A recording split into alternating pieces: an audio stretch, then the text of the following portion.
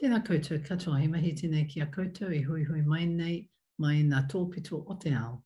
Nā iwi take take nā whanaunga tēnā koutou katoa. He uri tēnei no Waikato Awa, no Taranaki Maunga, e mahi ana ki a koutou, ko Leonie Piha ma tōku ingoa. Kia ora, my name's Leonie. I'm one of the outgoing council members for NASA, and I want to welcome you to this business meeting for 2022. I want to acknowledge first and foremost the many trials and tribulations that many of our communities have experienced over the past few years, not only with the pandemic, but with an ongoing search for self determination, for justice, for equity for our people. And I also want to acknowledge the incredible strength and power that we've done together collectively as Indigenous nations for the well-being of current and future generations. As an outgoing council member, I want to thank you all for allowing me to be a part of being in service to you all in the past three years. And in particular, I want to acknowledge the various presidents of NAISA that have carried much of the load. In particular, Aroha Harris, Shannon Speed, Susan Hill, Brendan Hokowhitu, and the incoming president, Aileen Moreton Robinson. I owe debt of gratitude to all of you for the many learnings and the many opportunities I've had to be a part of serving the NAISA community. I want to wish you all well. I want to wish well-being for your communities and look forward to when we get together again in the future. Nō reira, kia koutou katoa, tēnā koutou, tēnā koutou, tēnā tātou katoa. Scanos Fuego, Dio Mandate ni Gaso, Otahione ni Wagi Shotdent Ganyank Kiono ni Wakwenzadent. I'm Susan Hill, past president of NAISA Council for 21-22 and an associate professor in the Department of History and the Center for Indigenous Studies at the University of Toronto. I send you greetings of peace and good health from my home community of Six Nations of the Grand River and give thanks that we're able to gather virtually for our annual business meeting. Looking forward to seeing many of you again in person in future years when we're able to be together personally in our annual meetings. Onagihiat. Hi, folks. Uh, this is Kevin Bruyneel here. I'm the treasurer for NAISA and a council member. I'm a settler scholar who teaches at Babson College uh, on the lands of the Massachusetts people, uh, the unceded lands. Um, and I just to hear a welcome to everybody from NAISA members and hopefully future members. Um, it's been a tough couple years, um, but we're doing our best to bring everybody together. There's been wonderful regional gatherings and they'll continue. And really looking forward to not only uh, what's going to happen in the rest of 2022, but also hopefully also 2023 when maybe, hopefully we can all see each other again. I hope everybody's doing well and looking forward to seeing people in person and wishing everybody the best for the coming year. Um, be well, everybody. Buddha baby. My name is Astrid Dankertsen and I'm associate professor in sociology at Nord University in Bodø in Norway, uh, where I work mainly with Sami, indigenous, gender and Arctic related issues. Uh, I've been in the council for two years and looking forward to my third year. Halito, my name is Valerie Bluebird Jernigan. I'm a Choctaw woman from Oklahoma, and I'm also a professor of medicine at the Oklahoma State University Center for Health Sciences, where I direct the Center for Indigenous Health Research and Policy. I am a member of the NAISA Council and have served for, this will be my second year uh, my work focuses on improving Native food systems to support um, Native community health. It's really wonderful to meet you.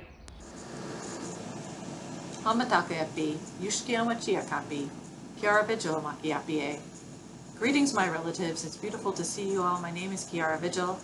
I am an associate professor of American Studies at Amherst College, and I am finishing up my second year of service on NAISA Council and I want to welcome you all to this year's annual business meeting. It's been an honor and a privilege to serve NAISA over the last two years, and I look forward to my third and final year, which is going to be starting soon.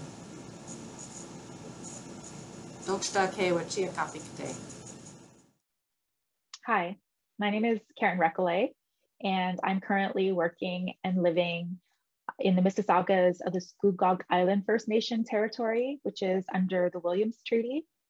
I am a professor at uh, Women and Gender Studies Institute at the University of Toronto, Ontario. I have also had the pleasure this year of witnessing some incredibly thoughtful, brilliant, and beautiful thoughts um, shared because I've been part of the prize committee for the best article this year. Um, it's been lovely working with NAISA folks. Um, I've enjoyed their company and their brilliant thoughts for the future. I look forward to hopefully seeing you all in person sometime soon. And I hope that your families and yourselves are keeping well. Thank you. Dios Saludos a todos. Yo soy Marisa Elena Duarte y Nepo Marisa Elena Duarte Teac. Uh, I am an associate professor at the School of Social Transformation at Arizona State University and also the outgoing secretary of NAISA, a role I have fulfilled with great pride and respect for all of you, my colleagues in Native American and Indigenous Studies. Um, I uh, just want to welcome you once again this year and thank all of you for attending, those of you who could, the regional events. This was really um, something new for all of us. And I am very proud to say that this council and all the members uh, who have since left and the new ones coming on are just doing a tremendous role in keeping the work of our association together in spite of the challenges through the pandemic. It really is remarkable the, the dedication that we have, the respect that we have for each other. It's really apparent from the view I've had the honor of holding over the last three years. Uh, tēnā koutou ko. As I've just said, my uh, people are Ngāti Pukenga and iwi are people from the east coast of Te Ikawa Maui, the North Island of Aotearoa, New Zealand. Um, and my name is Brendan Hokowhitu and I am the current president of NAISA. So I'd firstly like to acknowledge all the Indigenous peoples who we all um, are gathering on their lands or our lands um, today the, the guardians and protectors of our lands. I also want to thank our um, wonderful council members who served with me this year um, for the fantastic work that they've done this year in keeping the association's heartbeat going um, during really tough times. I want to especially thank our outgoing council members who are cycling off this year. That's Sue Hill as past president, Marisa Duarte as secretary, and our council members Leonie Pihama and Luis Carcamo Huechante. Thank you all for your amazing work that you've done for the association. We all really appreciate it. I also want to welcome uh, the new council members coming in. That's Sheryl Lightfoot as president, Alyssa Mount Pleasant as secretary, Jessica Bissett Perea and Nick Estes as new council members. I want to thank you all in advance for um, the wonderful work that you'll be doing for the association. Uh, lastly, I just want to give my utmost gratitude to the, the seven regional gatherings who were willing to commit to doing the work this year on our behalf. Um, I, by all accounts, the gatherings have been fantastic. So we are very, very grateful to you for the work that you've done on behalf of the association, but also the, the people that were able to present and the peoples that you were representing. Namahi nui kia koutou. Uh, that's it from me. Nā hau e whā, tēnā koutou, tēnā koutou, tēnā koutou katoa. Uh, tēnā koutou, tēnā koutou, tēnā koutou katoa. Uh, to open our 2022 NAISA business meeting, I want to invite our esteemed tohunga who have joined us today. Um, very grateful and humbled by your presence and willingness to open this meeting for us. Uh, I ngā rangatira te whare maka, makatea o te au ki te tonga, nau mai hare mai.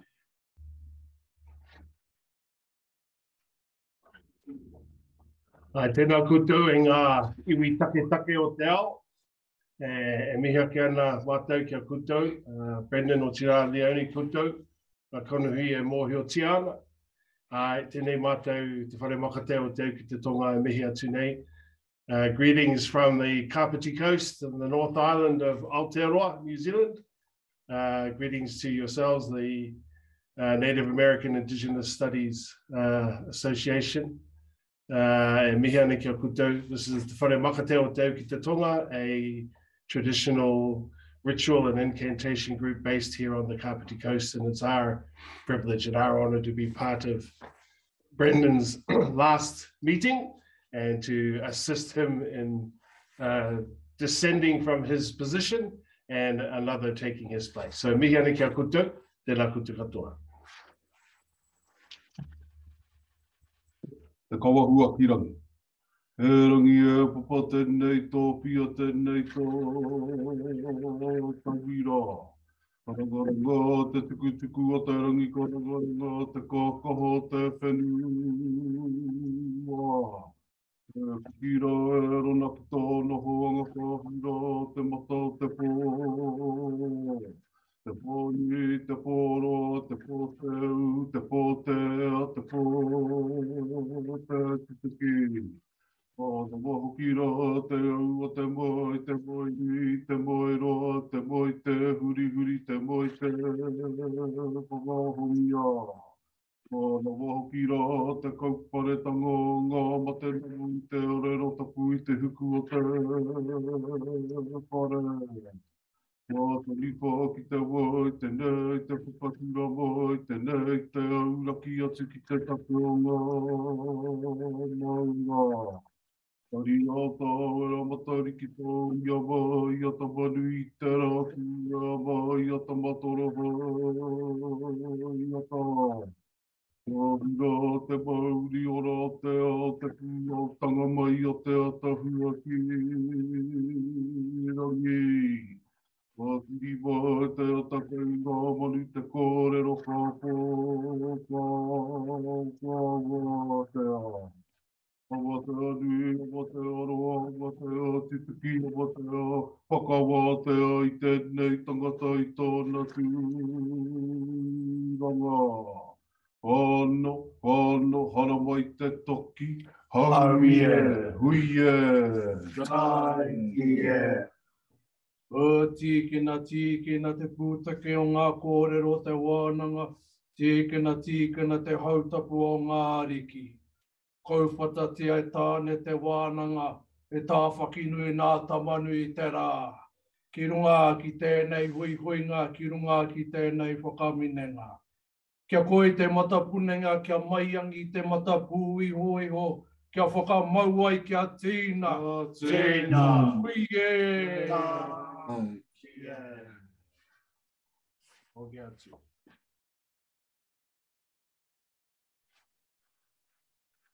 Kei a koe, Brendan. Tēnā pā, tēnā. Uh, kia ora, tēnā koe, namahi i ngā rangatira. Uh, thank you for bringing, uh, beginning, uh, beginning us in this uh, way. Uh, kia ora koutou katoa, ko Ngāti Pukinga te iwi, ko Ngāti Pukinga ki Makatū te hapu, uh, ko Brendan Hokuwhitu toku ingoa. As I've just said, I'm Ngāti Pukinga, and particularly from uh, the Makatū um, area, and my name is Brendan Hokuwhitu. I'm a professor of Indigenous Studies at the University of Queensland, and I'm currently the president of the Native American Indigenous Studies Association, NAISA. I firstly want to acknowledge uh, all the Indigenous peoples uh, whose lands that we gather on today, wherever you may be. Um, for me, it's the funeral of the Waikato Tainui peoples, so I acknowledge their continued presence as guardians of these lands. Joining me here on the screen, um, uh, the 2021-2022 NAISA Council members, past President Sue Hill, President-elect Aileen Moreton-Robinson, Secretary Marisa Duarte, Treasurer Kevin Bruyneel, third year term council members Leonie Pihama and Luis Carcamo Huechante, uh, second year council members Kiara Vigil and Astrid Dankertsen, and first year council members Karen Recollet and Valerie Bluebird Jernigan. Joining us also are new council members who I will announce shortly, but also NOMCOM, Clint Carroll, and others um, from Abiala, the working group, uh, Quiponka, uh, Sandoval, Marcelo Montalvo, and also we have the editors of the NAIS Journal, Tsianina Lomawaima and Kelly McDonough. Uh, Council welcomes you all to NACE's 2022 annual business meeting. I just want to talk a little bit about the logistics of the meeting. Um, so for kind of, because it's our business meeting, we need to record it. And so this meeting will be recorded. Um, in this meeting, your channel for communication is the Q&A function. You're welcome to send a comment or question at, at any time, and we will try to answer your questions during the Q&A period.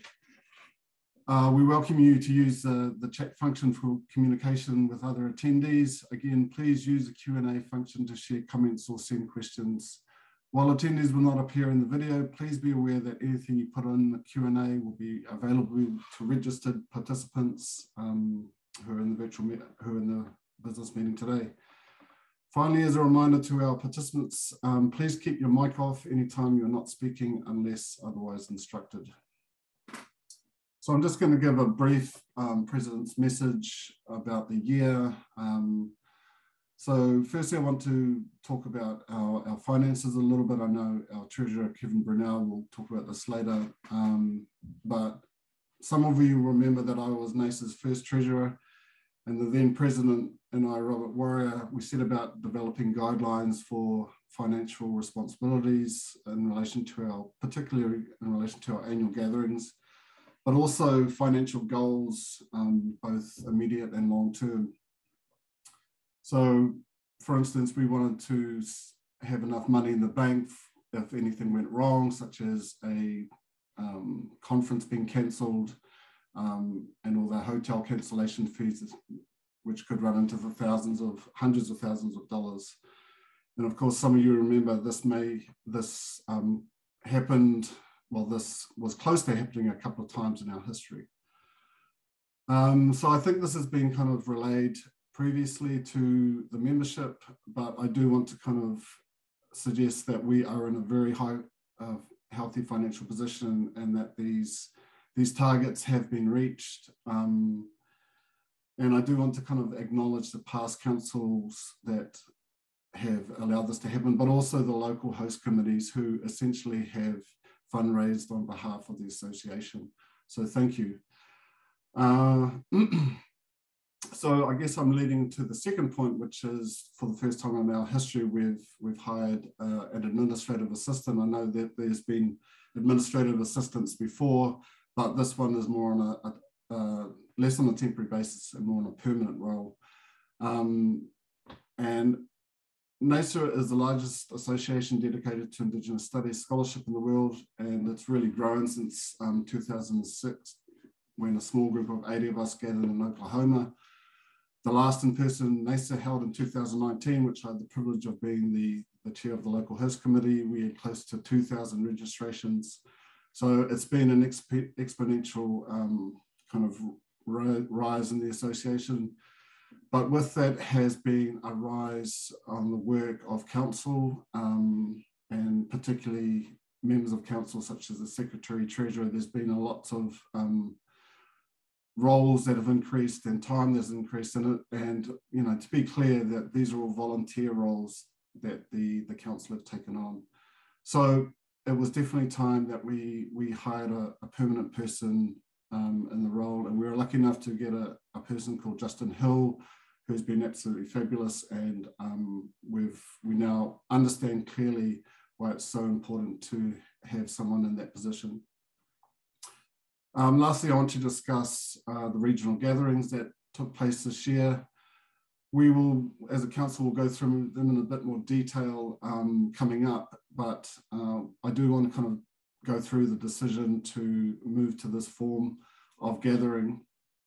So essentially, we knew that a large person gathering was out of question just because these things can take two, three years in the, in the planning, and we simply did, we could not um, plan with the pandemic. We couldn't plan six months ahead, let alone a year ahead.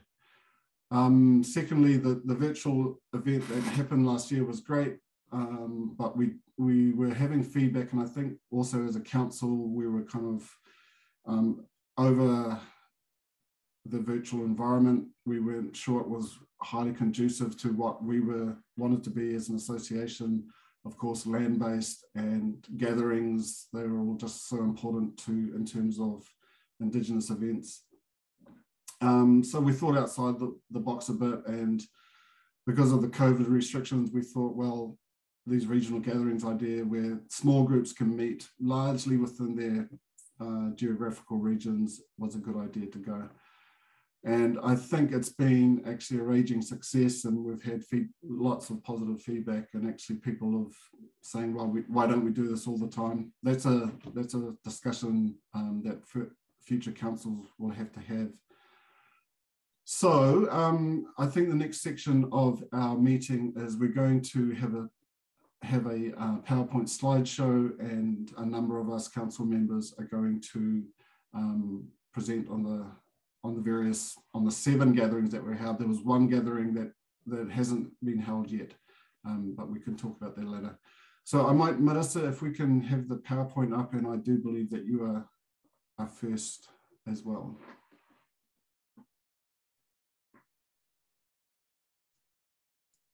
Okay, so um, there were a number of gatherings. Uh, the first one that I'm going to speak about is Red Folinai, which was organized. I, would like to honor the work of Dr. Cindy Garcia Weant, Assistant Professor of Critical Ethnic Studies at Kalamazoo College in organizing this event. This particular event, all of them, but this one really uh, spoke to me because it represents the community-centered place-based work that we really strive to uplift and uphold in NAISA. oh, so and we can see the evidence of the many years the many visits um, with and relationships that dr garcia has built with relatives collectives social movements colleagues educators in nayarit and throughout the indigenous world that made it possible so this event occurred on 20, February 21st at the UNAM, the Universidad Autónoma de Nayarit, with the representatives of four communities, Atam, Mexica, Nayari, and Wirarica, community-based programs, nonprofits, and institutions, and it was live streamed.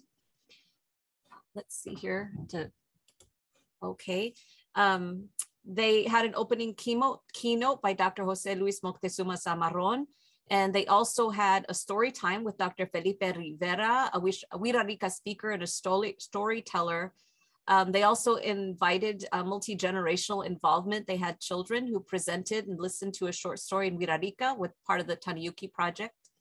In addition to community-centered roundtables that were about experiences of language revitalization through Nayarit, they also had a presentation on Indigenous women's perspective of language use in public social movements, and they also had partnerships where they heard, learned from language nests created by Rapa Nui native speakers and activists Samuel Atan Tuki and Nicole Tuki Rengifo, um, as well as UCLA doctoral student Cesar Barreras, who is Yaqui, and Cristian Ramirez, in which they shared a panel about indigenous languages and literatures.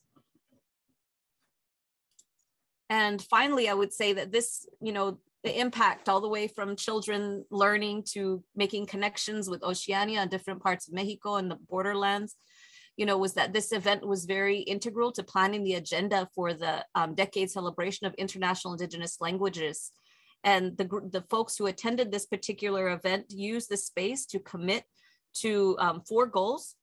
So one, to obtain, uh, open more spaces for the use of indigenous languages through workshops, classes, and schools Second, to offer workshops for native speakers to develop their pedagogical strategies, to find ways to implement language nests in Tepic, and also to bring more heightened public awareness to the needs of um, language revitalization in Nayarit. And so this was just a phenomenal presentation, um, series of events, and you can go to their website and to the Facebook event to participate and take a look at some of these, which are still available online. And I will turn the presentation over to Luis.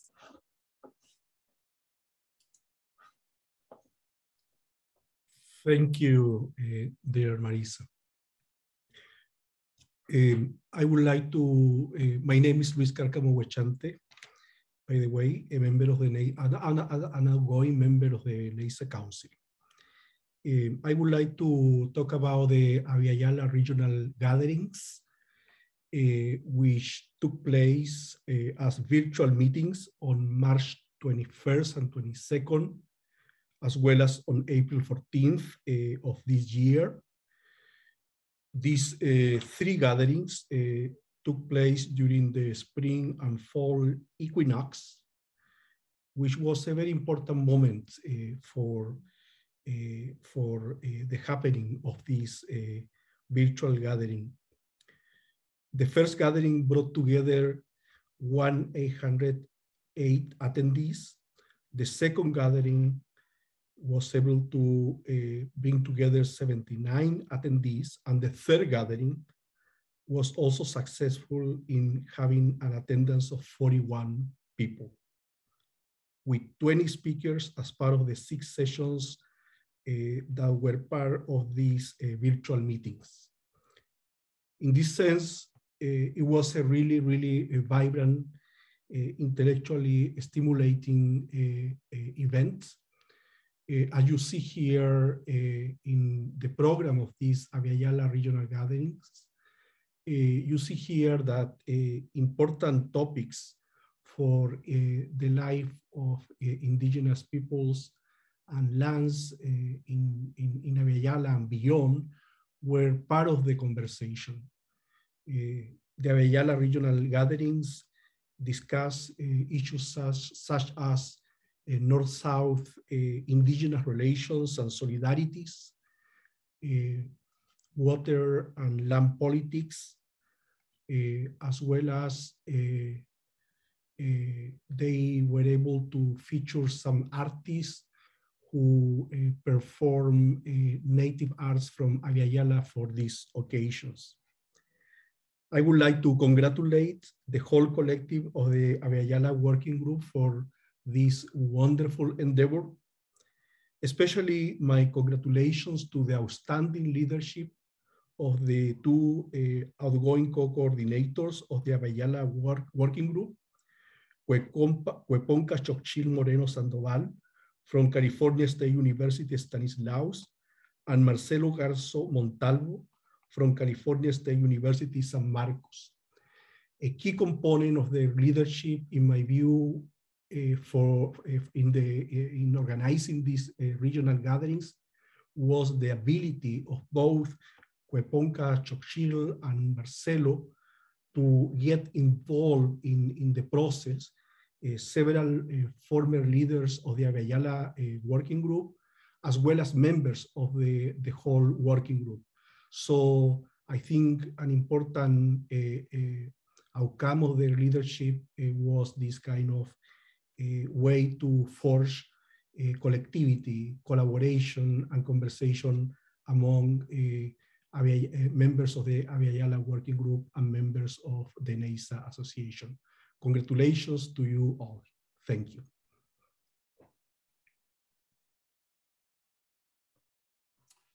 I believe it's handed to me to talk about the, the Lanyu regional gathering, which took place um, this year, April 22nd to 25th.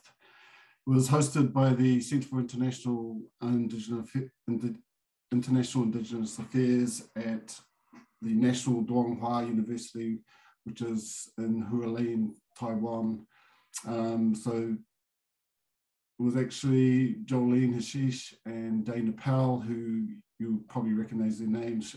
Jolan has certainly seen, uh, served on NAISA Council in the past, and D Dana has attended um, the NAISA conferences several times. Um, so they were co-hosts with the Ministry of Science and Technology, and um, they've held a wonderful event by all, by all accounts. So uh, they had 30 people register, including faculty, students, and community community-based Indigenous artists. Um, their graduate students came from a number of disciplines. Um, their participants included many community members from the Tao, Paiwan, Pangcah, Bunun, Syria, Indigenous peoples in Taiwan. And they also got quite a lot of media coverage from the Taiwan Indi uh, Indigenous television station. I just want to kind of briefly talk about their, their multi-day workshop. Um, they had, it sounds like a wonderful event. They did tours all around the island, ethnobotanical tours, historical tours and public lectures with knowledge keepers. Um, so yes, and they also had intensive discussion with novelists and literary uh, scholars. Um, they had several key presenters. Um, they had, for instance, six local Tao leaders um, who were instrumental in, in, reshaping national debates on nuclear waste. So uh, the Lanyu and Tao people are, are, known as the hosts to the low-level nuclear waste storage and also in relation to tourism waste management.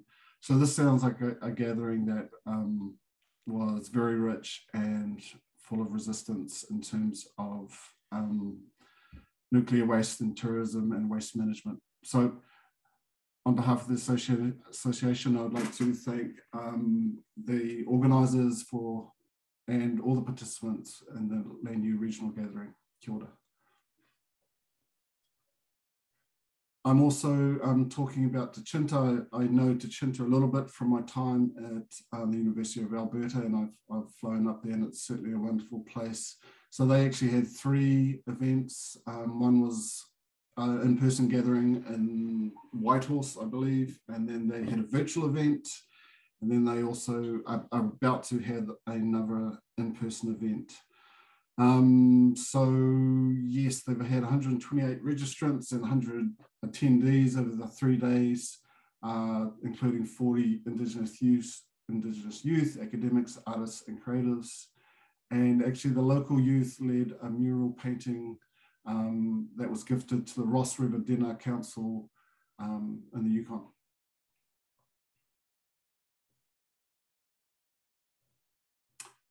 Just go back one, Melissa, if that's okay. So in the Whitehorse um, gathering, you'll recognize many of these names, Sarah Hunt, Glenn Coulthard, Dr. Leanne uh, Betasamosake Simpson, Crystal Fraser. They've all contributed um, to this event. Sounds like a wonderful event for those that were able to go. Um, but also they had lots of um, elders represented throughout the, the three days. Oh, and also um, Angelique Bernard, Commissioner of the Yukon, attended all three days, and the Honourable Van, Dan Vandal, Minister of Northern Affairs, attended the opening as well. So some political representation there for NAISA. Kia ora, Marisa. Uh, yeah, so the virtual gathering event had 66 presenters over 21 panels. Um, it looks like a pretty standard affair with round, round tables, book panels, uh, short films and performances. Uh, the presentations had six, seven graduate students, 21 land-based youth elders, three elders, uh, leaders, three elders, and 13 artists. Uh, the, the Yellowknife gathering that's about to come uh, will include 12 panels, 20 presenters, academics, artists, and also it's about to take place June 23rd to 25th. Again, on behalf of NAISA Council and our membership, I want to thank Dechinta for um, taking this uh, regional gathering idea and running with it and actually hosting three events. Uh, extremely grateful to you all. Thank you.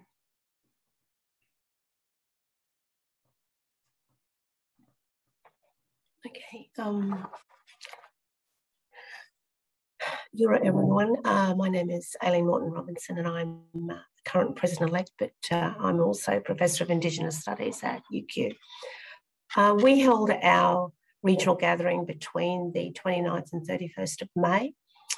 Um, it was opened by the Vice-Chancellor um, of the University of Queensland, Professor um, Terry, and also uh, Brendan opened as the president of NAISA, which was a wonderful thing for everyone that um, he was actually able to do that. Uh, registrations for our event, uh, we had some dropouts, but there were 99 people that were in person, and we had 81 participants um, that were that were present virtually. Uh, countries represented were Australia, USA, Hawaii, New Zealand, French Polynesia, and Canada. So it was um, it was well represented in terms of the facility. Um, the number of uh, sessions and papers, we 67 papers were presented, and that was uh, quite a lot of those were um, graduate students, which was great to see. The uh, the organising committee was led by Professor Tracy Bunda, and um, in particular, I'd like to thank her for her work to NAISA and the Pro Vice Chancellor, uh, Indigenous at UQ, uh, Professor Bronwyn Fredericks. Um, we were able basically to pull together this huge um, three day event uh, because her office fundamentally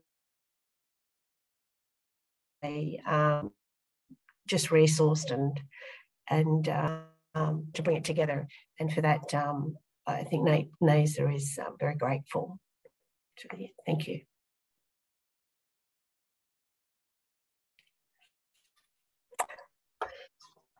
So on May 30th to May 31st, the Anishinaabe Kandasawin Institute, or AKI, AKI, at Lakehead University hosted Telling Our Own Stories, Indigenous Self-Determination in Data and Research as a virtual NAISA regional gathering. There were 71 guests for this virtual event, as well as 30 or 35 folks who weathered the intensity of our storms together. We would like to congratulate Dr. Lana Ray as the chair of the conference and all of your accomplices or comrades in bringing this conference to be in the world. How beautiful to gather in a series of kitchen table talks as beautiful offerings and invitations to be in relation. We know how much effort and love this takes, and we acknowledge its ripples throughout Turtle Island in contributing to a radically stunning constellation of research and inquiry. This gathering's fulcrum was to collaborate on thinking through and amplifying together Indigenous data and research sovereignty as a practice of Indigenous self-determination. Through repair and reclamation, this gathering brought wonderful, inspiring, brilliant folks together to amplify that Indigenous folks are data stewards and we can tell our own stories steeped in our intellectual traditions that advance decolonial futures. One of the many special moments was Kathy Absolon's second edition of Kaandossiwin, How We Come to Know Indigenous Research Methodologies. Some of the offerings included the sharing of work related to decolonial autoethnographies, Indigenous research, thinking alongside archives, Indigenous dance, Michif dreams, and land-based learning. We hold up this work and look forward to hearing more about strategies of resistance and are thankful for this sharing of knowledges as they advance the futures of Indigenous land and livingness.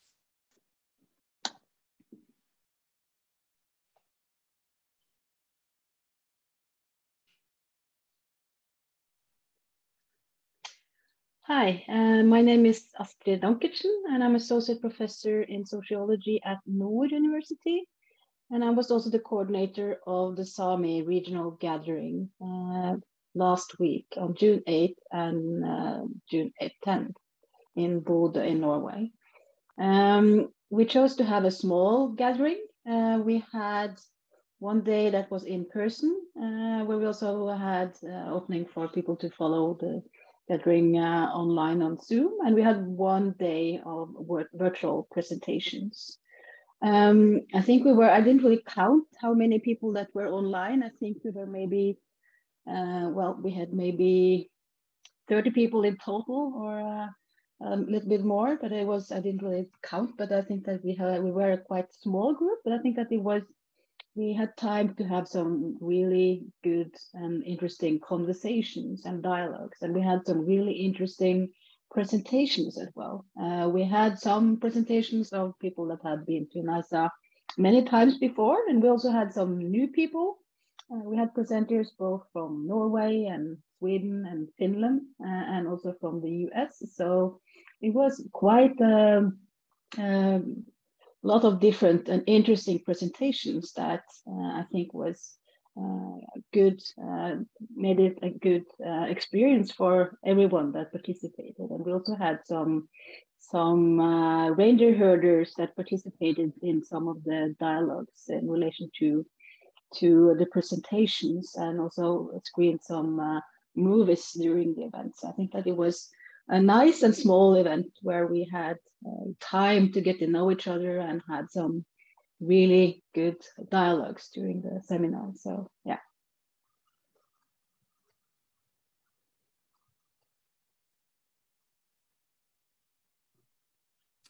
Uh, kia ora, so again, on behalf of Council, I'd just like to thank the regional gatherings, the local host committees in particular for being willing to take on that work. Um, I was lucky enough to attend the U University of Queensland uh, event in Brisbane, I think it was two weeks ago now, and it was such a vibrant event. Um, it was so good to get back into person and to eat food with people and to connect again. So I'm sure all the other events were like that, um, a real opportunity for us to to grow as an association. So um, on behalf of council, our deepest gratitude to you all for taking on that work. So now, now we move into the section of the, the meeting where we um, say goodbye to council members who are leaving us and welcome new council members coming on to council. Um, so the, the four council members that are leaving us have gone through a time which is possibly one of the most difficult in the association's history. Uh, it's the first time that we've actually had to counsel, uh, cancel a conference.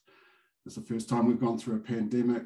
Um, it's the first time we've held a virtual conference, which was a lot of work um, for council and particularly Sue. And also it's the first time that we've um, held this idea of um, multiple regional gatherings. So we've gone through a lot this council um, and I'd like to pay my thanks to them.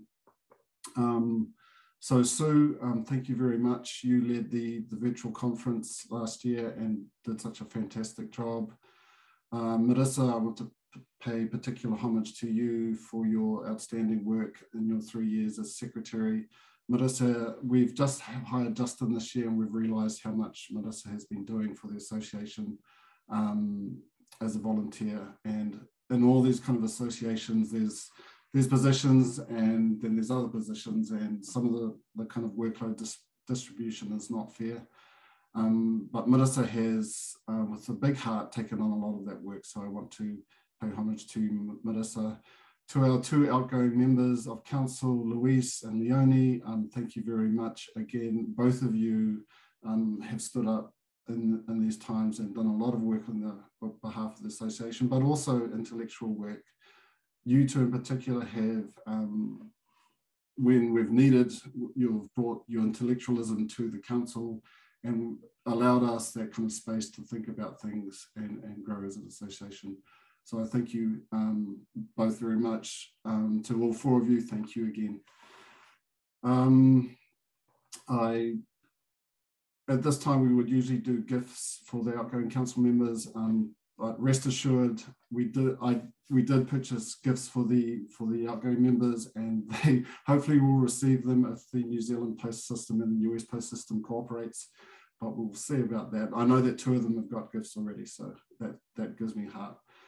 Um, so it's hard to see our members go, but it's also a time of renewal um, and coming in for in the new council is Jessica Bissett Perea and Nick Estes as council members and also Alyssa Mount Pleasant as secretary and Sheryl Lightfoot as president-elect.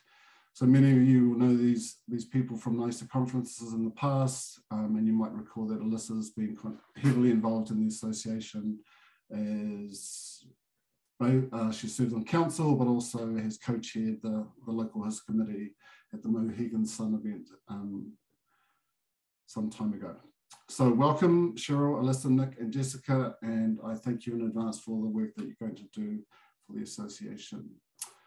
Um, so now it's the time to hand to our treasurer, Kevin Bruyneel, who's going to give this year's treasurer's report.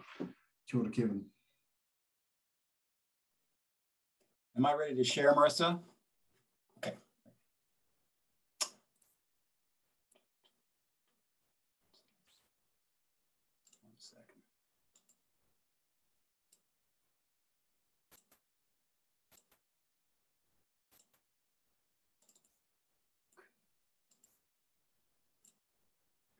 Uh, good evening, everybody, uh, or good day. I know it's different times. Uh, it's really an honor to present um, the Treasurer's Report um, here in uh, June 2022. Um, I want to echo um, something that Brendan said earlier about the long history of the organization. Um, as you can see here, I took over in July 2021 uh, from Tsianina Lomawaima, um, who'd been chair the last three years. And you can see in the documentation of the history of this organization, the incredible amount of work that's gone on, that's gone on since its founding um, from, from the beginning, as, as Brendan said, with Robert and, as president and Brendan as treasurer onwards up to where it is now. And I think the organization financially is in really great shape. Um, I want to particularly thank Tsianina for all the work she's done the last three years and all the help she provided me in training me um, into this position. Um, and uh, I have so much appreciation. And as the phrase goes, you stand on the shoulders of giants. And I feel as I can see what's going on, and gone on this organization financially, you can see all the work, that's, the great work that's been done over these years. Um, I won't take too long. I'll just, as I say, give here a snapshot of our 2021 balances, uh, business accomplished in 2021, and also goals and next steps. And then we'll have a Q&A if anybody has any questions for more specifics. Um, let's get to the cash. Okay. Um, so you hear, see here um, a three-year um, sense of where we are the end of the um, calendar year of 2019, 2020, and 2021. And you can see we've gone from 707,000 in 2019 to 810,000 um, this past December 31st. So um, the organization is in strong financial health. As Brendan said, we have to have a certain amount of, of funds uh, secured for um, rainy days. And the last few years, it's been pouring rain. So we've been in a good position to able, be able to deal with crises, to be able to pivot and be flexible. Um, a couple things to note here. Um, previous councils decided for good reasons to end any relationship to Wells Fargo um, and to put appropriately a big zero behind, beside their name. So those funds have been removed by the previous council, by Tsianina and the, pre and the previous executive council. And most of that money, that money went into either the savings account at First National Bank, that's what FNB stands for, or the checking account. So you see that the rise in amount of money in savings, and you do see an increase in checking. Um, part of the increase for um, NAISA over the past year is from 2020 to 2021 is an increase in revenue that came from the University of Minnesota Press from memberships. Uh, previous um, leaders of this organization created a, a, fantastic deal with the University of Minnesota Press for the journal and for memberships. We, we, NAISA does very well with this. We didn't have as many expenses this year because not having a conference in person in terms of travel and other things going on. So it was, it was better on the revenue side.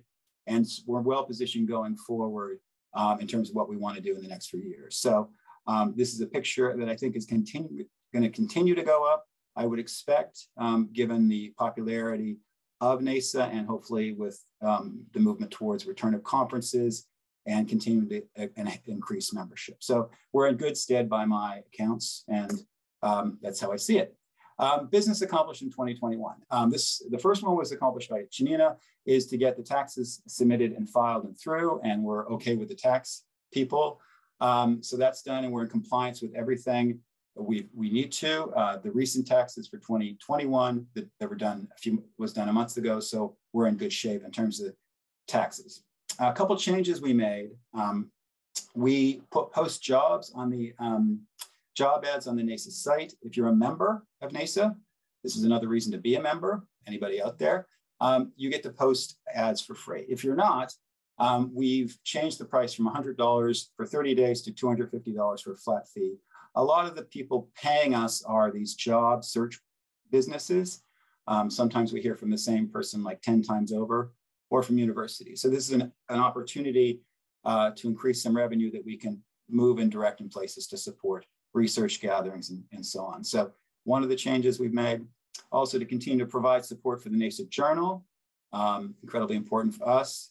Um, so that businesses continue to be accomplished and moving forward. Um, and as Brendan said, we've hired a great administrative assistant, Justin Hill, which has been a very important step in terms of as the organization gets bigger, to be able to have this support that goes beyond the great work done by volunteers.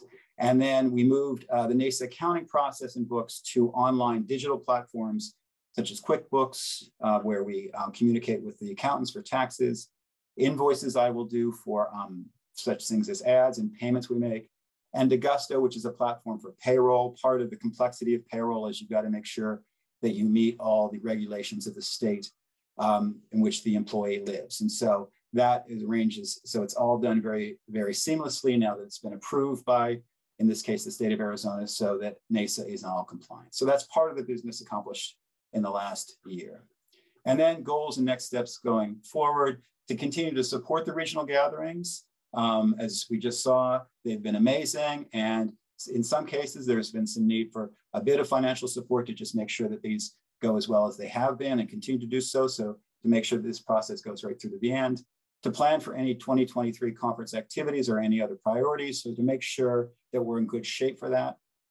Um, and then one particular thing is to seek out um, a second native run bank. Present Bank, First National Bank is so, but also to allocate probably about $250,000 from FNB to another bank. Um, has already done the groundwork of looking up a number of banks and part of my summer project, I guess, uh, my research project is to search for two or three banks that I could then recommend to the council. Um, we're going to look to do that for a couple reasons. One is to not be reliant on one bank in terms of FDIC limits. Not that I'm expecting a crash in the bank system, but this is, you know, this is uh, the way the world works sometimes, we know. Um, and to make sure that, the, that we have sort of things distributed well um, in terms of allocating um, our resources, and also to find a bank that allows for a little more flexibility, although FNB is great, but especially with such things as non-US based payments that can sometimes get a little difficult. So that's something that hopefully by this time next year, I can report we've made a decision and a move on that. And finally, um, to just to maintain NAISA finances in a healthy state in compliance with 501c3 requirements to maintain organizational flexibility in the short and the long term. So that's the overview. And of course, in Q&A, I'm happy to take any other questions you may have. Uh, kia ora, Kevin, and thank you. Uh, so Kevin's come in this year as treasurer, taking over from Tsianina, and uh, I know that he's had a lot of support from Tsianina, but he's also taken the association in, in other directions and also growing the association with hiring Justin, for instance, which is, sounds easy, but it's not with um, sal salary laws and tax laws and the rest of it. So thank you very much, Kevin, for all your work that you've done for the association. Uh, speaking of Tsianina, I'd, I'd now like to hand to Tsianina and Kelly, who are the co-editors of the NAIS Journal. Kia ora korua.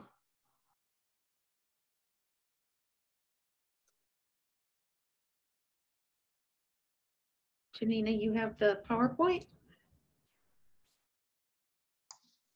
Yeah, I'll share screen.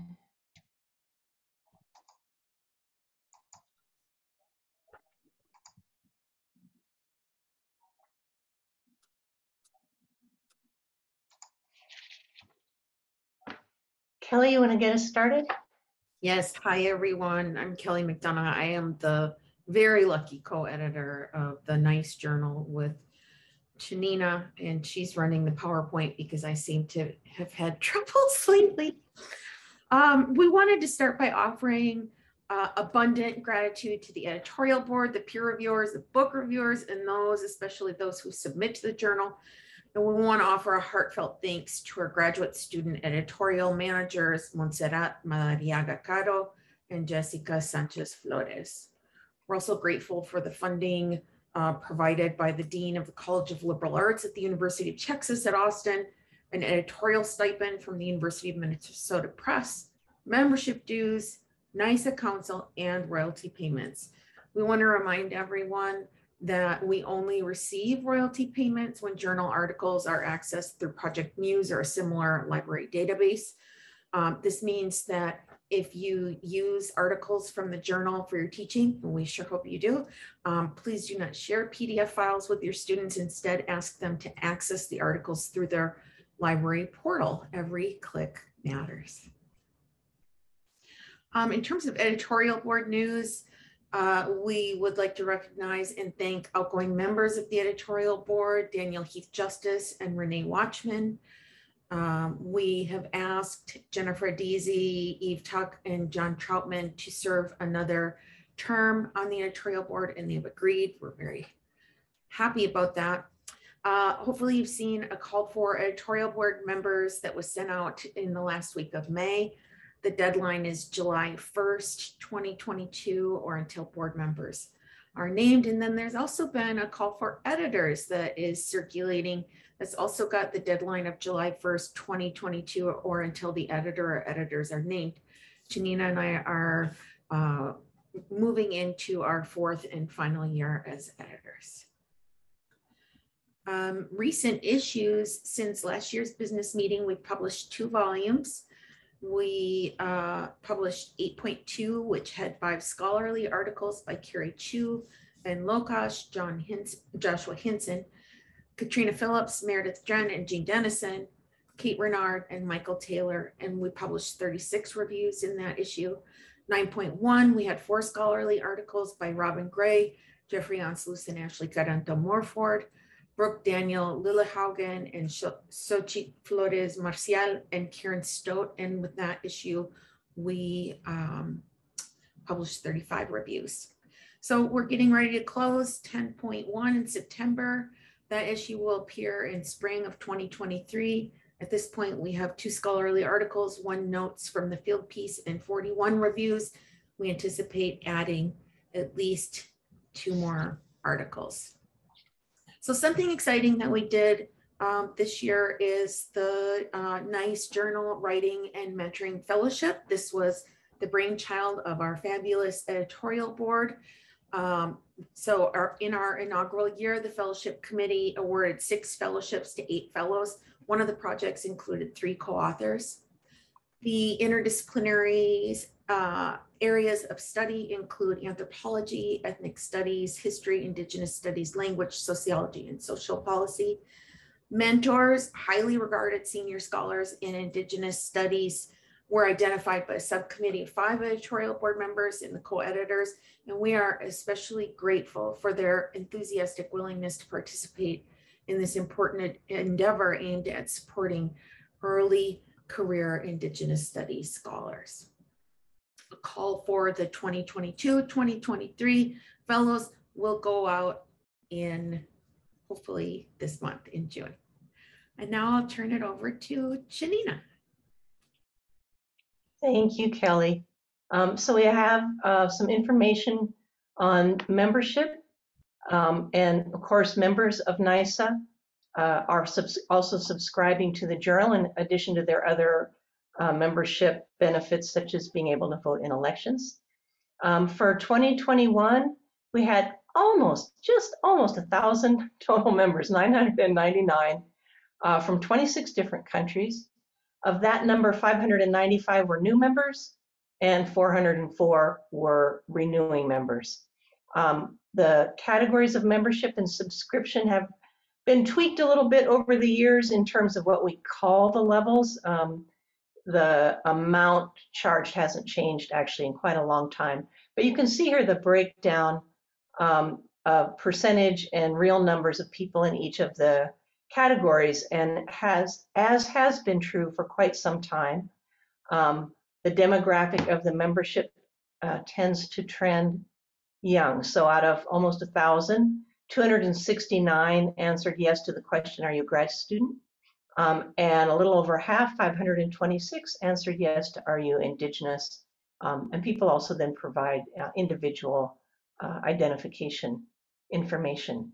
Uh, for 2022, the membership, uh, as of about two weeks ago when I checked, was 586 members, and uh, this this number has always dropped in the beginning of the year, despite our repeated reminders to people to oh please stay subscribed to the journal, um, and historically has always gone up. Um, the registration and membership numbers go up right before the uh, in-person meeting, but given um, what COVID has wrought in the world and, and the changes in our meeting schedules, um, it's possible that the total membership numbers might stay a little lower. Um, hard, very difficult to predict, actually. Um, here you can see a, a, little overview of the publication uh, record that Kelly mentioned a bit ago. Um, issues, the two issues in 2019, uh, 2020. Uh, 2019, I should say, is the first year that um, Kelly and I moved into the um, Office of Editors of the journal, um, and 2021 and 2022. And if you track the total number of reviews, you'll see that the review numbers are really, really going up. Um, and we offer many, many thanks to the NAISA membership and others who have been so willing to contribute reviews um, they're actually at this point possibly threatening to swamp the hard copy uh, version of the journal. So we're actually in conversations with the press, and this is a conversation that no doubt will be carried forward by uh, whomever the next editorial team might be, to look at the possibilities of, of putting some or all of those review publications online.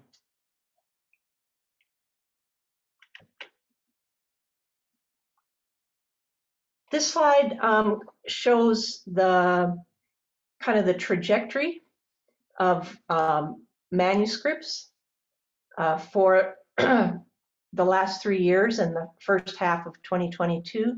So in the first column, you can see the number of manuscripts received that have come into us, uh, the number of manuscripts retired, um, that might be a desk decline, it might be a decline after peer review, it might be an author withdrawing a manuscript, it might be people whom, who, are, who are invited to revise and resubmit for various reasons decide not to do that.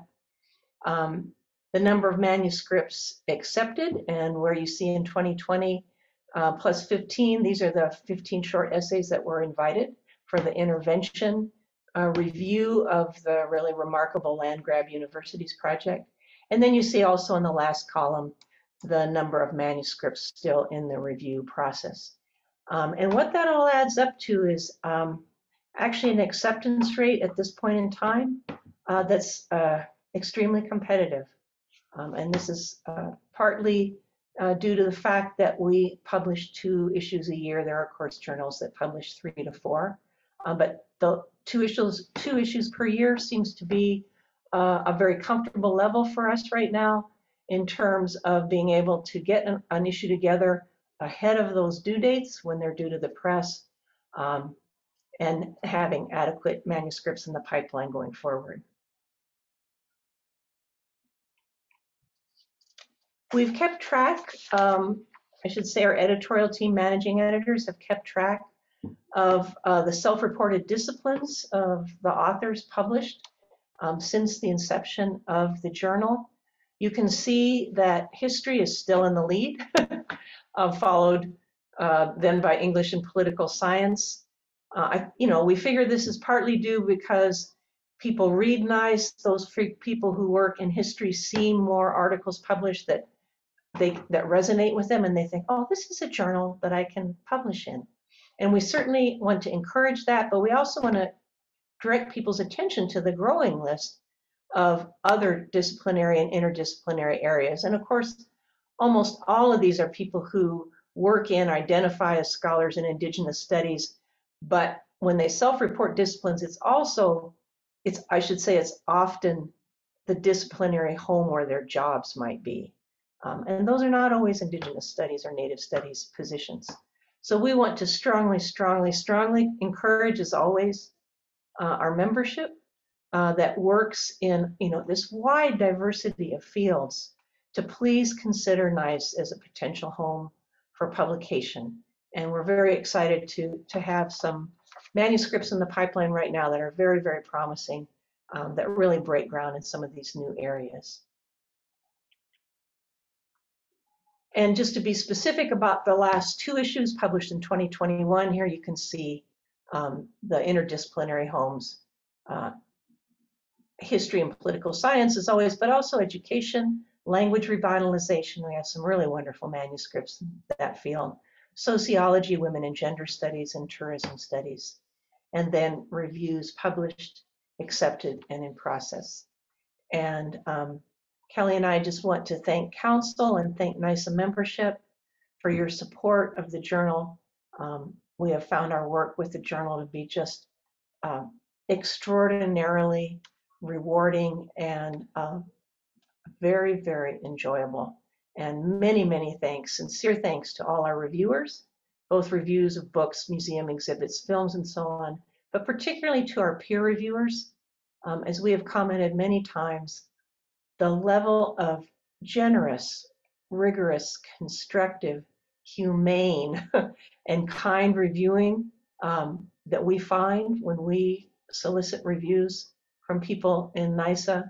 I mean, it's truly remarkable, and we, we think uh, it, it deserves great thanks as it reflects the values and the mission of the organization. So Mado, thank you to all of you out there who have done uh, and continue to do reviews for us. And I will stop sharing screen. Yes, thank you, Tsianina and Kelly, and to all those involved with the, the journal. It's such an important um, output for us as Indigenous Studies scholars to, to have this journal. And I know it's been financially rocky times for many universities making cutbacks and whatnot. So to both of you, to the editors, thank you so much for um, for your intellectual work and for your for your hands-on work with the journal as well. So now it's time in the agenda to turn to our NomCom team. Um, so we'll turn to Clint Carroll, uh, who's going to give the report of the nominations committee. But before we do that, I'd like to extend our, our council's thanks to the outgoing members of NomCom, Doug Kiel and Ashley Glassburn, but I'd also like to thank our incoming members, um, Hi'ilei Hobart and Teresa Montoya, who will be joining um, continuing members Lani Teves, Cutcha Risling Baldy, Lourdes Alberto, and of course Clint. Um, I'll hand it over to you, Clint. Hello, thank you, Brendan. Osiyo Negadawo. Hello, everyone. On behalf of NOMCOM, uh, we want to thank all who participated in the NAISA elections this year. Uh, thanks especially to all those who agreed to run and submitted their very thoughtful and inspiring candidate statements. Uh, this process is vital to the health of our association, and we very much appreciate your time and dedication to serving NAISA. We're extremely proud of the slate of candidates we were able to produce, and as uh, Brendan has uh, announced, uh, we want to welcome and congratulate uh, all the new NAISA leadership. Um, for this year's election, I want to say a couple of uh, things about voter turnout, uh, just for your information, and comparing that to past years. So we included members dating from 2019 to 2022 to determine our eligible elector list this year.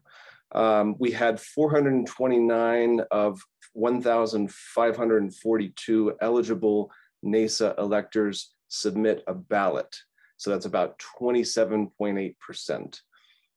For the runoff election, which was a new thing for us uh, this year, but for the runoff election for council, voter turnout was about 26%. Uh, so this is notably higher voter participation than last year's election. Uh, we had a turnout last year of 16.4%. Uh, and just as a point of comparison, in past years, we've seen as high as 30.3%, uh, and that was in 2020, and that was due to a post-Aotearoa uh, increase in membership. But generally, on average, with voter turnout hovering around 20%. So um, uh, we did, uh, we, we were heartened by the turnout this year. Um, as a still relatively young organ organization, we rely on all our members to take an active role in the elections process. And this includes uh, nominating colleagues who you think would make strong candidates for NAISA leadership. Uh, we want to encourage all NAISA members to be thinking ahead about possible nominations, uh, including self-nominations and re-nominations uh, for our next ballot, which, believe it or not, uh, will be coming up soon. Uh, this year, we received 17 total nominations, which were as follows. We had eight from the general NASA membership, uh, eight from current members of NAISA Council, and one self-nomination. And that's up uh, three from last year's 14 nominations. And so we always encourage you to check with uh, those who, you who you want to nominate to make sure they're willing to run. And certainly if it's a self-nomination, uh, I encourage you to check with yourself before you uh, put your name forward.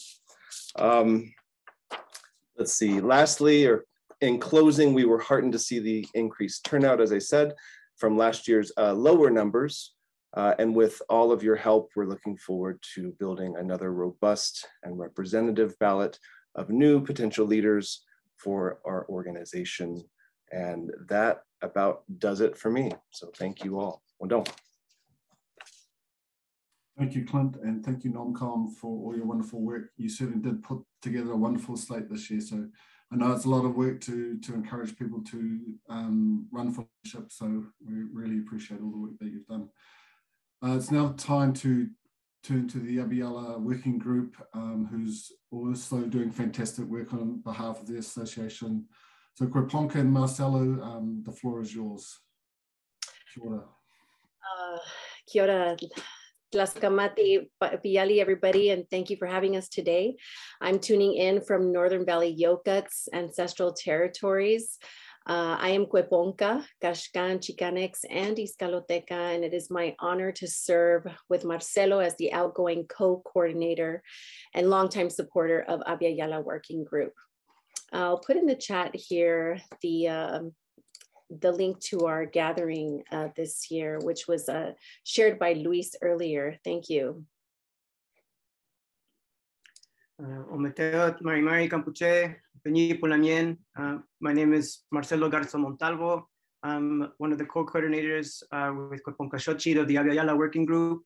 And I just want to echo that it's been an honor to serve in this capacity this year, uh, working with Kweponka Xochitl and uh, many different generations of coordinators and our um, folks on council who have supported us tremendously.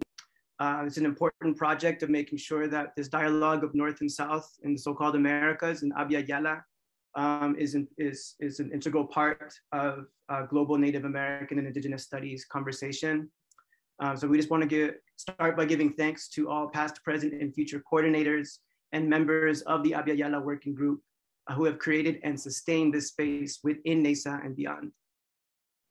When we first began to work together, it was important to nurture, you know, three aspects of the work, beginning with the relationality with the former Abya Yala uh, coordinators, uh, to continue the work that they had done over the years and imagine uh, some of the work that this direction was going in uh, with this uh, new leadership.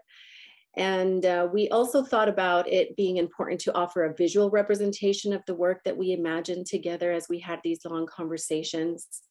So we worked with one of my students at Stanislaus State, who is an artist and a coordinator of Indigenous students in activism, to create this image uh, that would inspire the place and the concept of Abya from an anti-colonial, decolonial perspective. And here's what we ended with. Um, of course, it's always open to the dynamic shifts of the body as they see fit over the years. And uh, our intention here is to just share a little bit from our perspective as the co-coordinators of the regional gatherings, um, some details uh, to add to um, the generous presentation from Luis to describe the regional gathering we did, which was one of our main focuses of the work. Um, we were able to host uh, three days of virtual regional gatherings, um, particularly bringing together Indigenous voices from North and South, uh, rooted in hemispheric dialogue, relationality, and community across the so-called Americas. We gathered virtually in the Zoomiverso, creating a temporary intercultural Indigenous territory in cyberspace, sharing stories of sustaining Indigenous liveliness in Abya or Fomentando el Buen Vivir in Abya. Uh, we opened these dialogues as we welcomed the spring equinox in the north and the turn towards the fall equinox in the south, as Luis mentioned, uh, on Monday, March 22nd and the uh, 21st and 22nd. And we closed these on April 14th in partnership with uh, Tonatierra Nahuacalli. Um, so we're just gonna provide a, a few more details um, that we wanted to share as part of our report back for these events. And we um, did provide that link in the chat for anyone who'd like to learn more about the details of what these gatherings entailed and more details on who uh, was part of these conversations. And videos of each of these pláticas and events um, are available on that page. They're hyperlinked.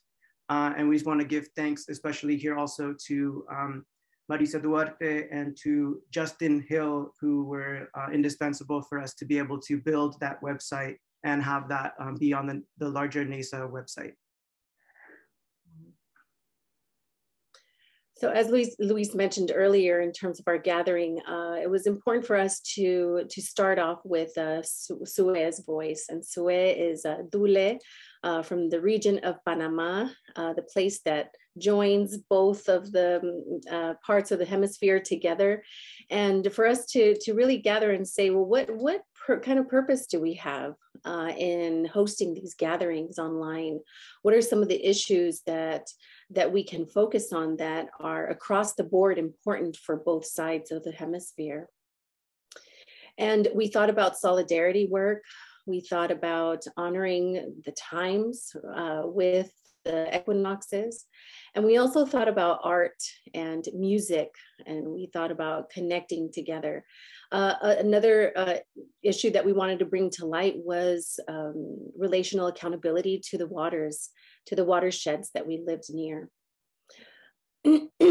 so we created this uh, day one with uh, three different uh, sessions and invited people from the north and the south and the central area to come together and to connect. Uh, for me, what was um, most moving to me was connecting to a Mapuche elder uh, who's a poet and educator who uh, really helped us uh, understand uh, our uh, relational accountability and relationships to the waters. and just some other um, pieces to share from day two, uh, which was really rooted in Plática Número Dos, which was rematriating land and water, a conversation that was uh, moderated by our relative here, Kashochit, uh, which was a conversation with um, Two-Spirit Warrior Queen, Candy Brings Plenty, uh, and uh, queer mestiza uh, Bolivian relative Ines Izquierda, uh, who works in conversation with the Sogorea Te' Land Trust, is part of the uh, Indigenous Women Urban-led um, uh, land trust in the San Francisco Bay Area. And that was really focusing on returning Indigenous uh, lands to Indigenous hands and the work that, that entails uh, in, across the hemisphere and the work that's um, been able to be done. And in particular, thinking from uh, the role of our two-spirit and or queer and um, non-binary relatives who have taken uh, leadership in that work. And we just want to also, also share about the third uh, Platica. And also just if you notice, we, we really organized this gathering um, with community in mind. And um, instead of maybe, uh, in, or maybe in, in place of a more uh, straightforward conventional paper presentations, we really uh, structured these as platicas. So they were short presentations that then created space for community dialogue.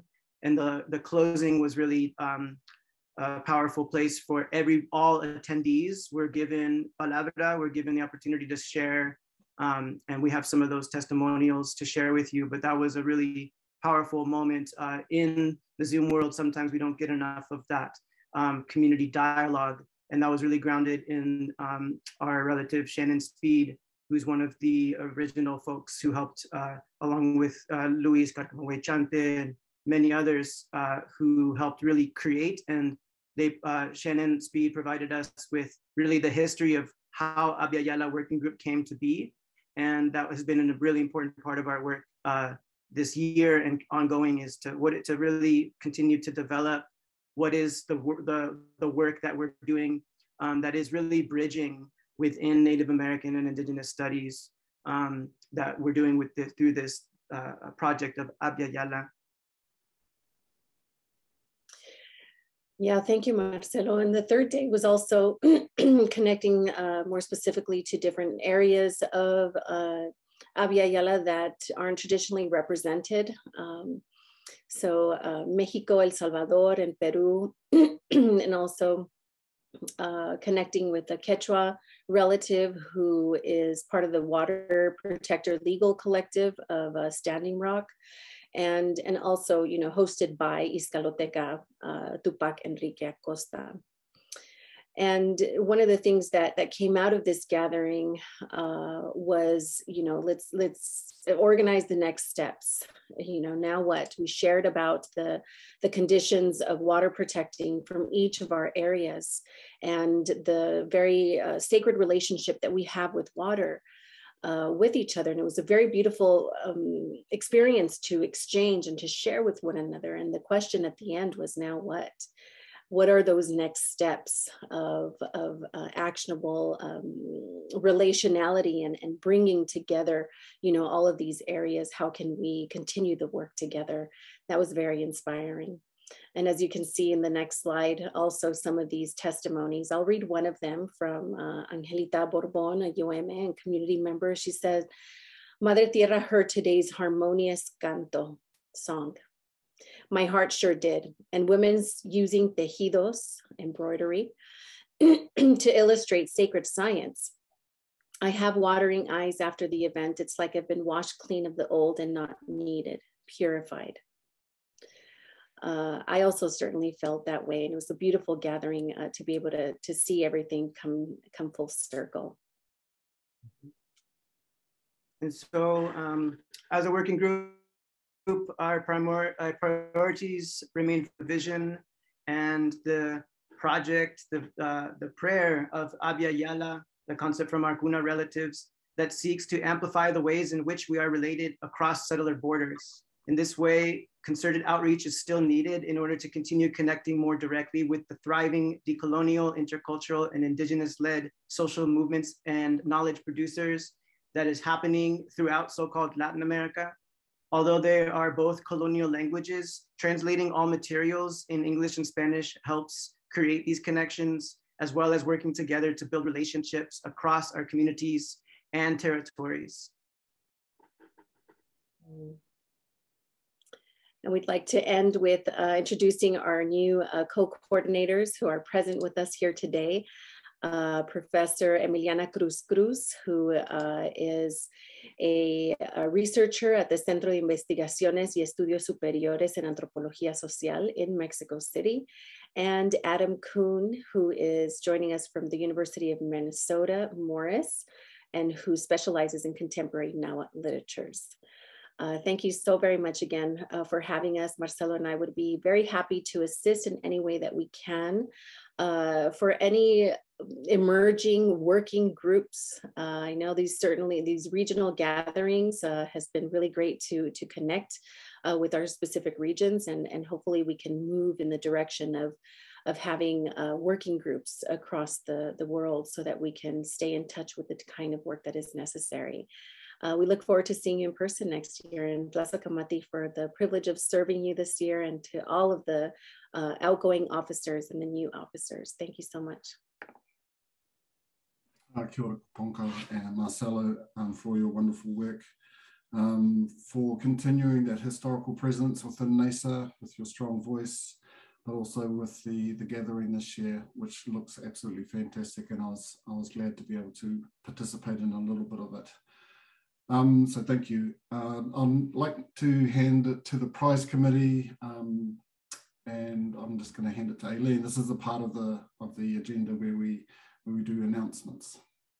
Kia ora, Aileen.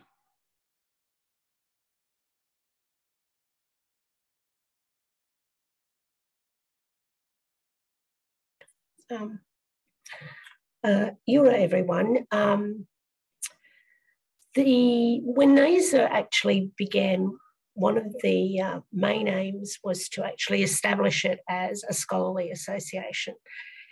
And uh, under the leadership of Robert Warrior and the first uh, elected council, um, they decided that one of the ways in which we could recognise and honour this scholarship was to actually establish um, prizes.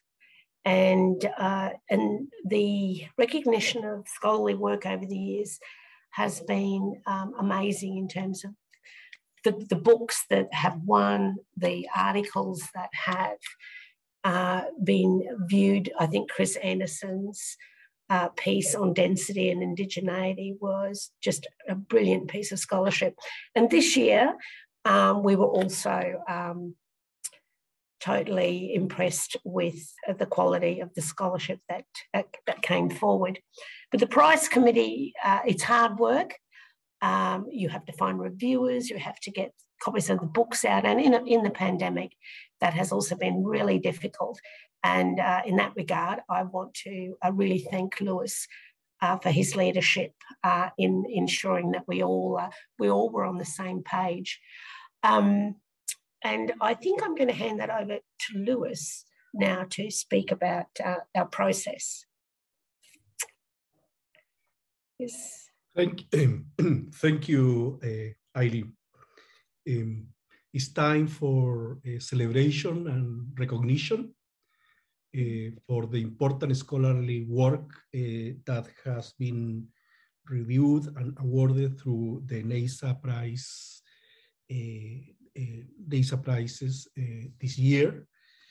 Uh, works that constitute an affirmation of indigeneity as an intellectual force mm. beyond settler borders at this time.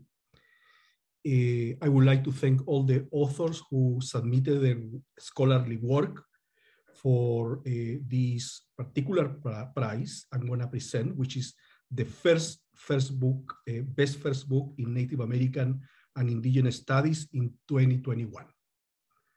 So the winner for best first book in Native American Indigenous Studies in 2021 is a colleague Jamaica Heolimelei Kalani Osorio for her book Remembering Our Intimacies, Mo'olelo, Aloha, Aina, and Ea, published by University of Minnesota Press in 2021. I would like to share with you the statement made by uh, the wonderful committee we had for this uh, prize.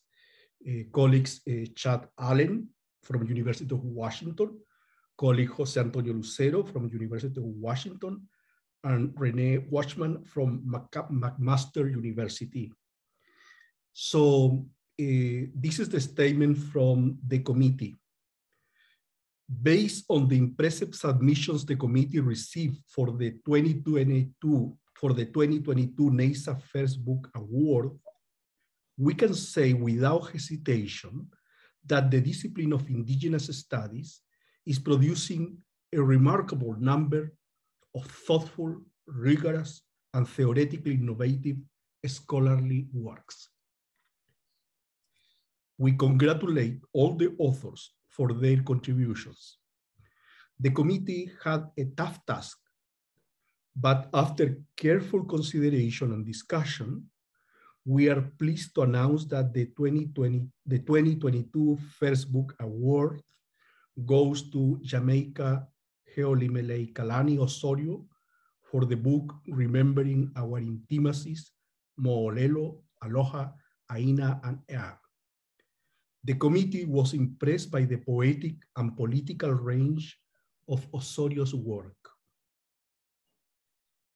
In its close and intimate explorations of the archives of indigenous language and its activist mobilizations on behalf of the Mauna.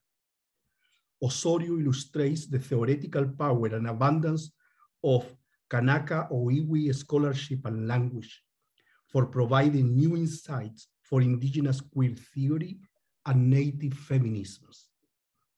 With the central metaphor of upena, fishing net, this work makes a compelling case for holding, caring for, and restoring multiple forms of pilina, intimacy, grounded, place-based, and in deep conversation with Kanaka ʻŌiwi knowledge, Osorio's work should be read and engaged by all who are interested in the power of indigenous studies to articulate native histories, desires, and futures.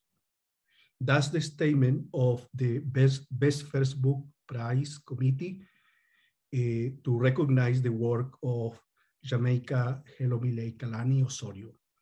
Uh, I see that uh, colleague uh, Jamaica Heolimelei Kalani Osorio is attending this event, so more reasons to congratulate warmly her for her for this accomplishment.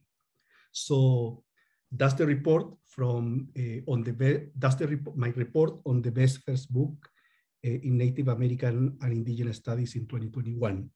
Now I would like to give the floor to our colleague Astrid Dankers, Dankertsen uh, from the Sapmi territory, member of the council, and a faculty at uh, Nord University to recognize the best subsequent book in 2021. Thank you. Shaltumai. Thank you, Luis. Um, I would first like to thank all uh, the authors of the excellent books that we have received. Uh, and I think that uh, we received, I think we received uh, 20 nominees, uh, of which we, um, yeah, we received 19 books in total. And we had a great time reading all the books. And we had, could have made uh, maybe five or six winners because there were a lot of excellent um, books that we were able to read.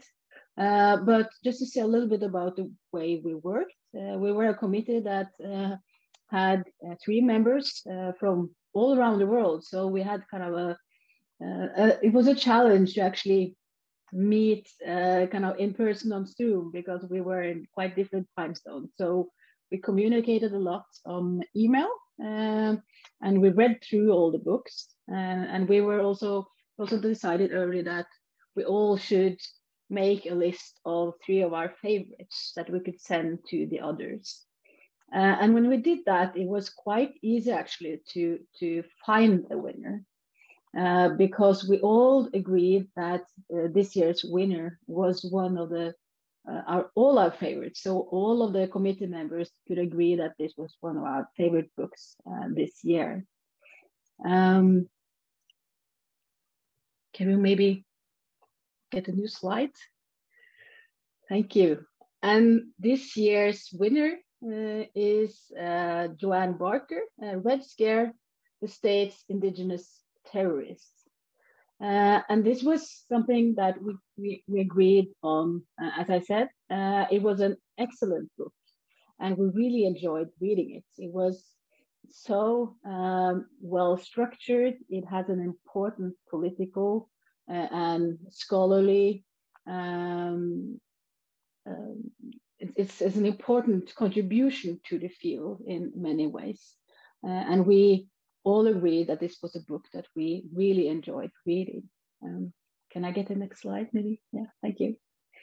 Uh, so to read uh, the statements of the statement of the committee, um, we state that uh, Joanne Barker's book, Red Scare, The State's Indigenous Terrorists, is a critical and innovative intervention into the ongoing history of the relationship between the US state and indigenous nations. It draws attention to the ways uh, indigenous people have been represented in racist ways as terrorists to justify the oppression of indigenous activism. It shows how contemporary activism and fights for land and indigenous life are not new, but the latest um, iteration of this fight by indigenous peoples, which has been fought urgently and consistently since first invasions.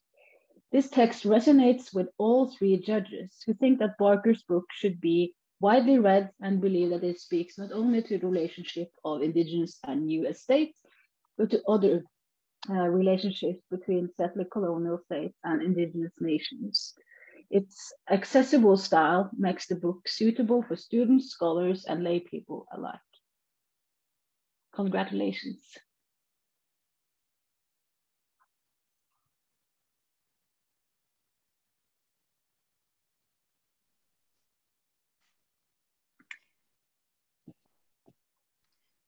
So I now have the privilege of speaking about NAISA's 2021 most thought-provoking article, sorry, 2022. And uh, my name is Karyn Recollet. And if we could move to the next slide.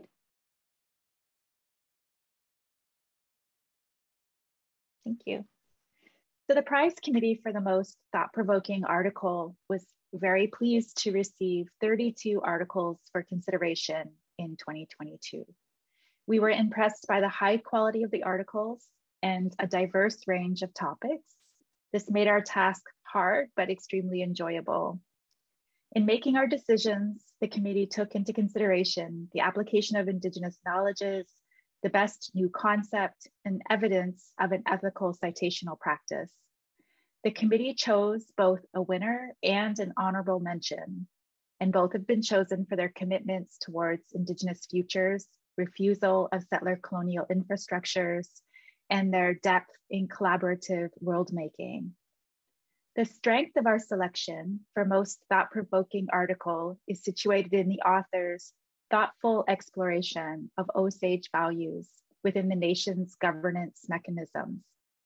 The clarity in this discussion provides inspiration and challenges for First Nations people to consider the proposition of moving to a new country as an approach to explicating the entanglements of colonialism. The authors have deftly and ethically uh, presented their logics through privileging Osage elders, leaders, and other First Nation scholars. We appreciate this work for the way that it amplified a relational ethics of care through collaborative practice an intervention into the grammars and systems of order and possession. The practices denoted here are intentional, thoughtful, and carefully situated as organizing principles for their community.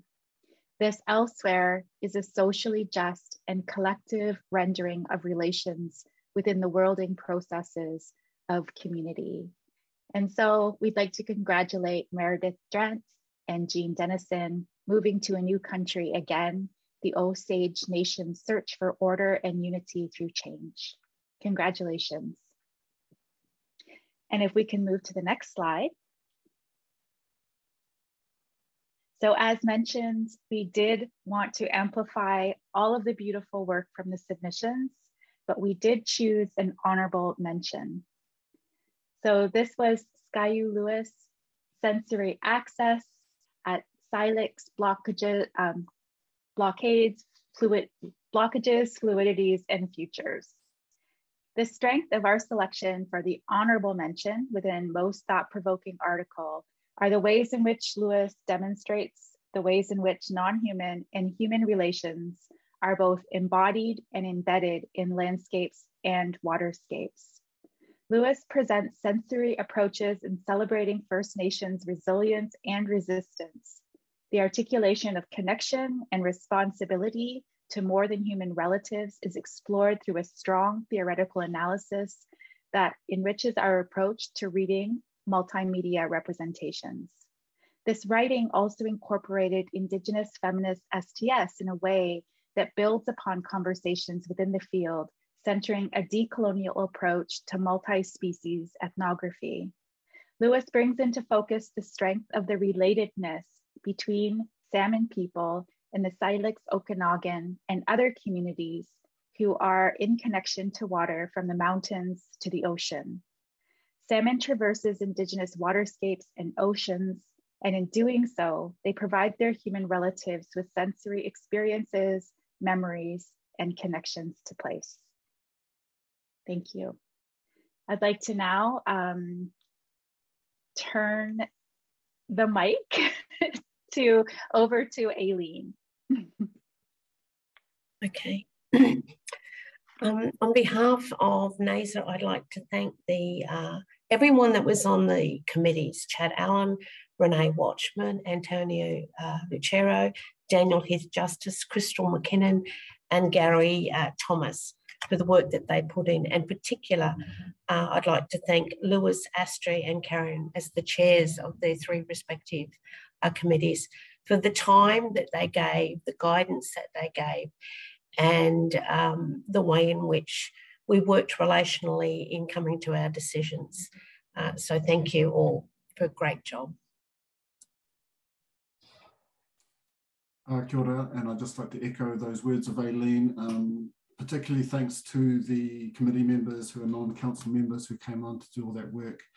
Um, congratulations to all the winners and thank you to all, all the other people, all the other uh, submittees too. Um, but also to our prize committee. I know it's a lot of work. So to Luis, Aileen, Karyn and Astrid, thank you so much for all that work that you've done for us um, this year. So it's now part of the um, the meeting where we turn to the, the accomplishments of our membership, was which is a regular feature of, of what we do at NAISA, basically kind of celebrating our membership. Um, and I'm going to turn it to our council member, Kiara Vigil, to, to lead this. Kia ora, Kiara. Idama uh, Brendan. So uh, Kiara Vigil, I'm a professor at Amherst College and I'm excited to get to recognize the highlights from many of our members. Not all, but those of you who completed the survey that we had attached to registration for this webinar. So Diana Chanupi, uh, let's let's try it. Let me uh, there.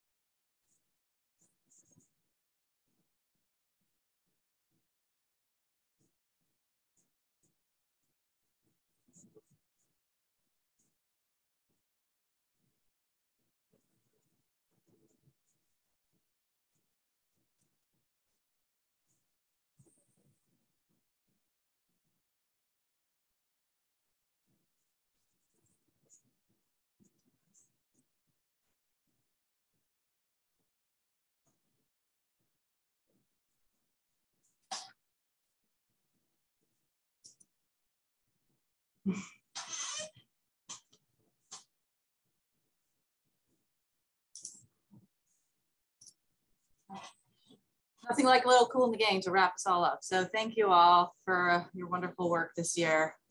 Brendan, it's over to you. Thank you, Kiara. And yes, my congratulations. We certainly have a wonderful um, membership. So uh, as one of my last acts as president, I'm going to hand over to um, the incoming president, uh, Aileen Moreton-Robinson, for a few words.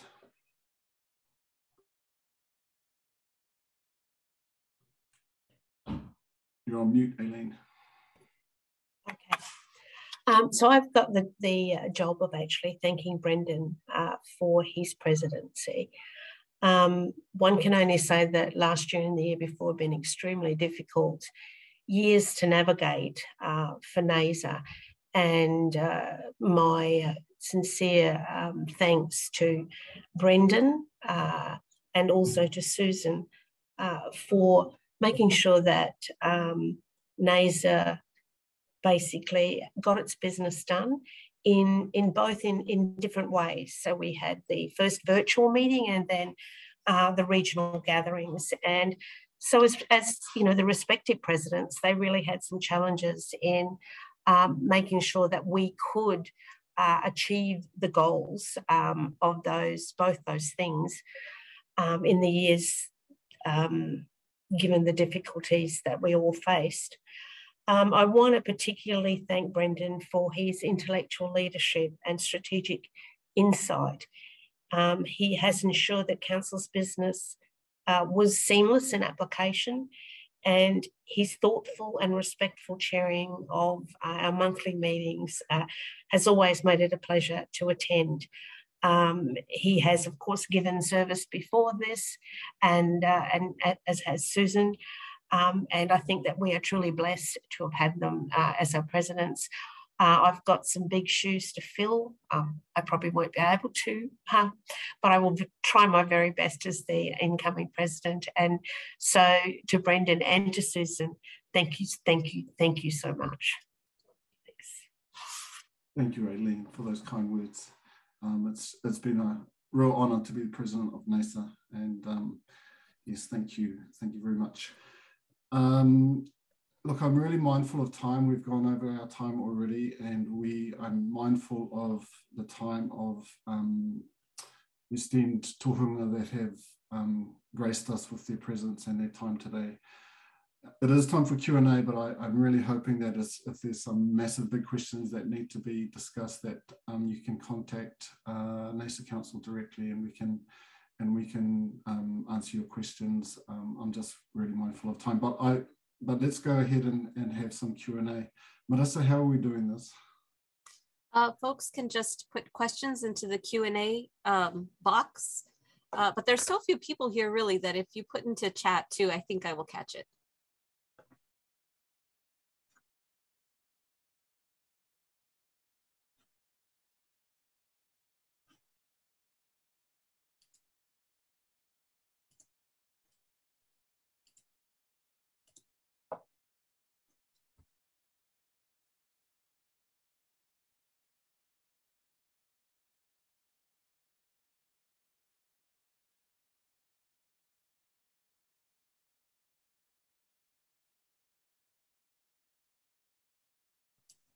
Yeah, Denali says no questions, just accolades.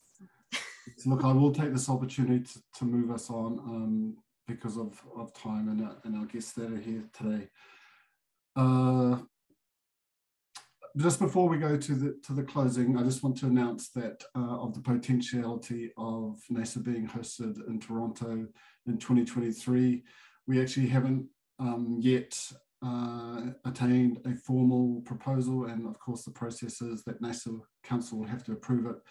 Um, but it's being led by our very own Sue Hill, so we are really, really confident that, of course, Sue will, is, um, will put together a great job. So I'd just like to kind of tentatively announce that. And I know this isn't probably the way to do things, but unfortunately with the pandemic, this is how we have to operate in the next little while. I do want to put a plug out for um, those people uh, who are considering hosting NAISA to, you know, our time frame really should be about 18 months to two years. So if you're looking to host in 2025, for instance, um, you should be getting in a proposal to us uh, in 2023, etc. Um, thank you, everybody, and I'd like to hand it now to, um, and I'm hopefully uh, Tohunga is still there, uh, te whare makatea o te au ki te tonga, uh, e i te rangatira. Hi, tēnā no koutou katoa. Uh, we're going to do uh, a couple of things here, uh, traditional things. First is a couple of uh, traditional incantations that that kind of lift the burden of this leadership that uh, Brendan has carried for his ten during his tenure as the president of NAISA. But it's also probably applicable all to all of you who are who are stepping down from your various roles uh, here. And then we're going to do two short haka, which is probably what one of the things that our people are uh, renowned for is doing haka. And they're both from the Bay of Plenty. So it's really about acknowledging uh, Brendan's uh, roots, his lands, his waters, and his home. Unuhi, oh. Unuhi, unuhi, a ngā kawenga kei runga i tēnei tangata ki awa te a. Unuhi, a. Unuhi, a unuhi, a ngā haipapa kairunga i tēnei tangata ki a mahe a. Unuhi, a. Unuhi, a ngā mahi kairunga i tēnei tangata ki a. e a, unuhi a kia tai mai ko tūranga hā kua kua tūranga ha, nea nea tūranga puatata. A peke tūranga kei tai a koe haunui e hauroa. Ko peke tūranga kei tai a koe tainui e tairoa. O peke tūranga kai tai a koe kupunu e kupuroa. O peke tūranga whakaputa i ngā tini kaupapa ki te whai au, ki te ao marama. Wano, wano, ora mai te toki, haumi e, hui e, tai ki e. Tēnei te wī, tēnei te puna taurori, hurana te whare au en kui heri a ki reira, teihi te tapu te mana. Teihi keiru ngā whanatū wau ki runga ki te pū, ki te wānanga, ki te tauira, ka tū te tohi kura ko te ākinga o te meanui, ka tatu kei runga i ā. Tēnei te ni ni, tēnei te nā nā, tinei a te hanga o te tupua a whiti a hapaingia ko rangi nui e tū nei, ko papatu anu kua takoto ake nei, ko tae mai tātou ki te mana ki tā tātou kaupapa, ki te whakawāte i tō tātou amoku, am, am, amokapua ki tōna no mahi, hei pānga no mōna, mōna e noho mai ai ki roto i te tūmata nui o ngā iwi take take o te ao hoki mai rā koe ki roto i tō iwi a Ngāti Pūkenga, ngā tirangi Nui Ngāi Te Rangi, Tauranga Moana mo te manaake, manaake, manaake, kore whītikia. Rāingi a hō, tūturu a whiti whakamaua kia tīnā, tīnā, uie, tāhe, tāhe, tāhe, tāhe, tāhe, tāhe, tāhe, tāhe, tāhe, tāhe,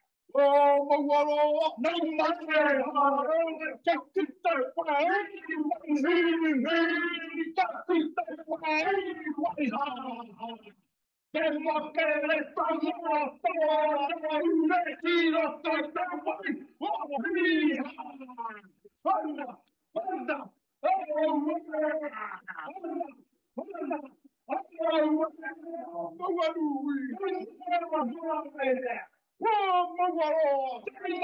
No, Mawaro!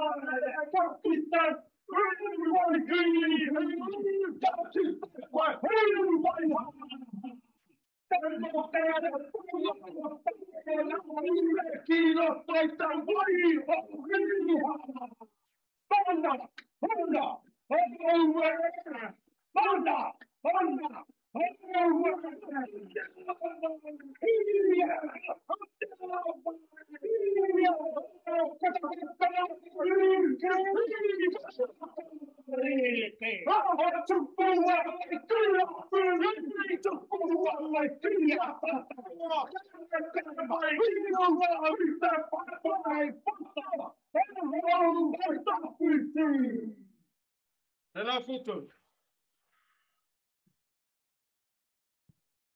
Tēnā koutou.